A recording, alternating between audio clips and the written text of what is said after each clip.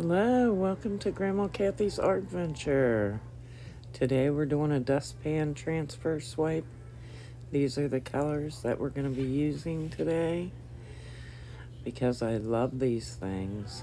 I love these dustpan transfer swipes, the way they um, transfer over to the deep edge canvas. They're just beautiful.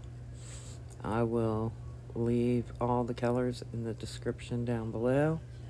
I do have this sped up five times while I'm putting on the color and then it will go back to regular speed when I do the transfer. So I will let you watch. I hope you enjoy it.